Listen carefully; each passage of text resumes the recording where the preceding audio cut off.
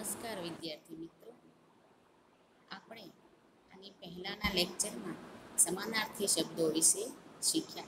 સમાનાર્થી શબ્દો એટલે કે સમાન અર્થ ધરાવતા શબ્દો.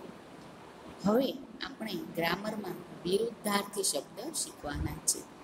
જો આપણે તેની સંધિ છૂટી પાડીએ તો વિરુદ્ધ પ્લસ અર્થ.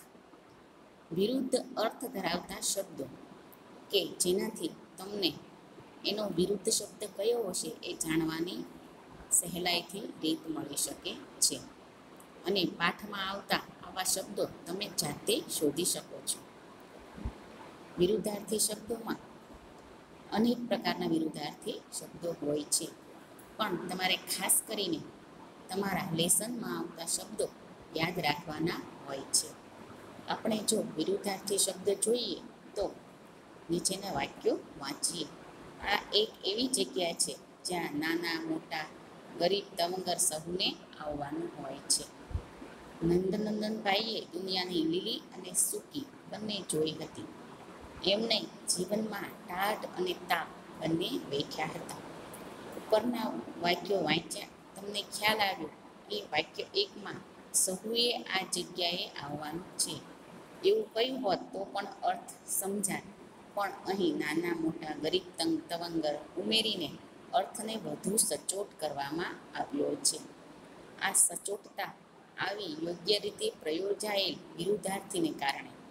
તમે બીજું અને ત્રીજું વાક્ય લીલી સૂકી ટાઢ તાપના વિરુદ્ધાર્થી દ્વારા જીવનના તમામ રંગો જોયા છે. એને અસરકારક રીતે રજૂ કરી શકો છો. વાક્ય તો વિદ્યાર્થી મિત્રો તમે વિરુદ્ધાર્થી વગર પણ બનાવી શકો છો. પણ વિરુદ્ધાર્થી શબ્દો ઉમેરીને તમે વાક્યને વધુ અસરકારક રીતે રજૂ કરી શકો છો.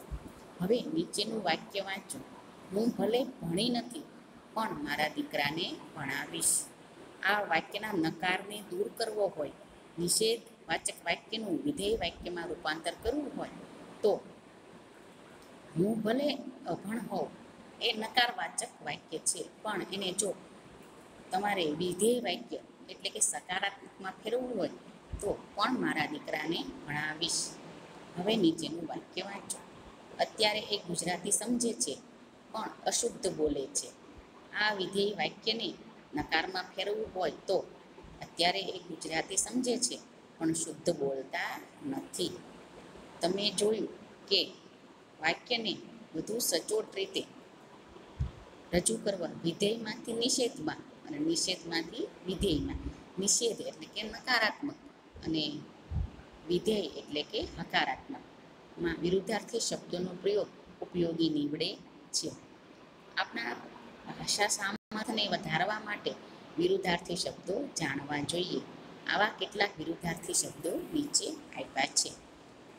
અઘરું તો સહેલું, અબોલ તો બોલવું, ઉછીનું તો રોકડું ઉદ્યમી તો આળસુ, કડવું તો મીઠું, ખરું તો ખોટું, નાનું તો મોટું, અઢળક તો અલ્પ અથવા થોડું. ઘણીવાર એક જ શબ્દના ત્રણથી ચાર કે એકથી પણ વધુ વિરુદ્ધાર્થી શબ્દ બનતા હોય છે. અમીર તો ગરીબ, ઉત્તમ તો અધમ, ઊનું ઉષ્ણ ગરમ તો શીતળ, શીરું ઠંડુ, કાચું તો પાકું દૂર આઘું તો પાસે અથવા નજીક. નિશ્ચિત તો અનિશ્ચિત, નૂતન તો પ્રાચીન, પુરાણું, પહેલું તો છેલ્લું, ભદ્ર, અભદ્ર, મંગલ તો અમંગલ, મોંઘું તો વાચા. નિશ્ચિત તો અનિશ્ચિત, પરિણિત તો અપરિણિત, તારકું પોતાનું, ભોળું તો કપટી, મજબૂત તો તકલાદી મૂર્ખ તો ડાયું, યોગ્ય તો અયોગ્ય, વિધવા સધવા. સરળ તો, કઠિન, સ્પષ્ટ તો, અસ્પષ્ટ. મજબૂત તો, તકલાદી, મૂર્ખ તો, ડાયું, વધારે તો, ઓછું, સફળ. એનું વિરુદ્ધાર્થી નિષ્ફળ, સુખદ વિરુદ્ધાર્થી દુઃખદ, હલકું તો ભારે કેટલીક વિરુદ્ધાર્થી સંજ્ઞા અંધકાર તો એનું વિરુદ્ધાર્થી પ્રકાશ. આકર્ષણ તો અપાકર્ષણ. આકાશ તો પાતાળ.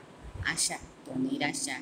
ઈચ્છા અનિચ્છા ઉત્સાહ, નિરુત્સાહ, ઉદય, અસ્ત, ઉદ્યમ, આળસ, ઉન્નતિ, અવનતિ ઊંચે નીચે, કાળજી, નિષ્કાળજી, કીર્તિ તો અપકીર્તિ ખરીદ તો વેચાણ, ગમો તો અણગમો, જય પરાજય, દેવ તો દાનવ ધ્યાનનું વિરુદ્ધાર્થી બેધ્યાન નફોનું વિરુદ્ધાર્થી નુકસાન, પાપ તો પુણ્ય, પ્રગતિ અવગતિ, ભરતી તો ઓર ભીતર તો બહાર, મિલન તો વિરહ રાગ તો દ્વેષ, લાભ તો ગેરલાભ, વક્તા તો શ્રોતા, વખાણ તો નિંદા, વિવેક તો અવિવેક, શાપ તો એના વિરુદ્ધાર્થી થાય આશીર્વાદ, શિખર તો તળેટી, સગવડ અસગવડ, સર્જન વિસર્જન, સુગંધ તો દુર્ગંધ, સ્મિત તો રુદન, સ્મૃતિ તો વિસ્મૃતિ, સ્વદેશ તો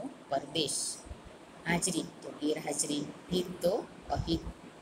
આ જ રીતે ક્રિયાપદમાં પણ વિરુદ્ધાર્થી શબ્દ જોઈ શકાય છે.